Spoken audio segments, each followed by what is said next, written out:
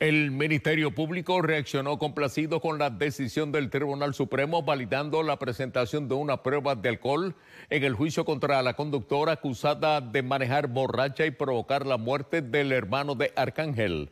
Maribel Meléndez Fontán amplía. Ya el máximo foro, como digo, pues ya declaró no lugar la decisión del apelativo y estamos preparados animados para poder probar más ido razonable que la señora Mayra Nevares Torres culpable de lo que sucedió esa madrugada. Con la decisión del máximo foro judicial, la Fiscalía tiene luz verde para presentar la prueba de alcohol en el juicio contra Mayra Nevares Torres, acusada de provocar la muerte de Justin Santos de Landa y de causar grave daño corporal a Kevin Monserrate Gandía. Ahora mismo la pena a la que se expone la señora Mayra con lo que ha sucedido hasta este momento, ahora es 15 años que no cualifican según nuestro sistema de derecho para una probatoria. Indicó que doña Carmen, madre de Justin, reaccionó emocionada al conocer que la prueba de alcohol será presentada durante el proceso judicial. Reaccionó bien emocionada.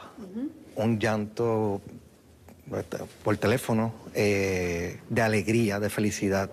Y poquito a poco los pasos en la justicia que podamos darle un poco de, de felicidad, porque no tiene a su hijo, yo no, no, tengo el poder de hacer eso ninguno de nosotros, pero de buscarle la justicia, pues eso fue uno de los, ayer fue uno de esos momentos. El accidente en el que murió el hermano del cantante urbano Arcángel se reportó durante la madrugada del 21 de noviembre de 2021. Según el expediente fiscal, Nevares Torres conducía en estado de embriaguez y en contra del tránsito por el puente Teodoro Moscoso cuando provocó el accidente fatal. En esta etapa del proceso, ¿todavía hay oportunidad para negociaciones entre el Ministerio Público y la defensa?